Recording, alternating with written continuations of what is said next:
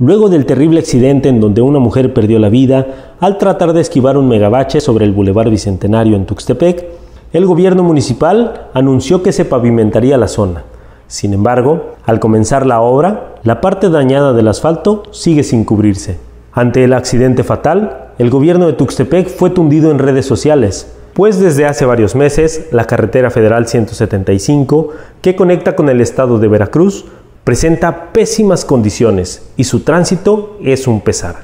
El edil Noé Ramírez Chávez anunció la semana pasada sobre la rehabilitación del camino como parte de un proyecto en curso con el recurso de Capufe, con el que anteriormente se pavimentó una parte y ahora se invertirían 10 millones de pesos para otro nuevo tramo, sin precisar la extensión que cubriría, pero dio a entender que se cubriría la zona del megabache que causó el accidente. Sin embargo, los trabajos que hasta este momento se ejecutan sobre la carretera federal comprende un tramo aproximado de 566 metros, quedándose a unos 150 metros de cubrir los hoyos que ya le arrebataron la vida a una mujer. Esta carretera es la entrada principal a Tuxtepec,